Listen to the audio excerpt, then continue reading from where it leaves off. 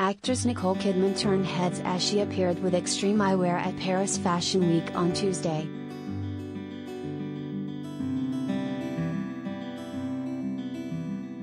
It seemed as the 55 year old actress took a leaf out of Kim Kardashian's book as she sported what looked like a bizarre black eye mask in Paris, previously worn by the reality TV star.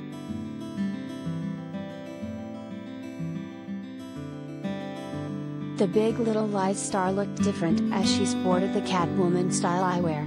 She teamed it with a figure-hugging scoop neck bodysuit with long sleeves, and larger-than-life baggy jeans for Paris Haute Couture Fashion Week.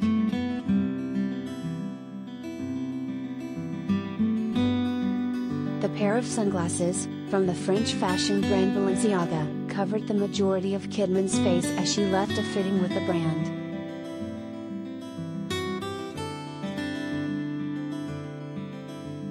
Nicole Kidman turned heads as she also wore a cross necklace and simple elegant chain, and added bracelet and rings to her immaculately manicured hands. A pair of pointed heel court shoes and a black leather clutch bag elevated her look.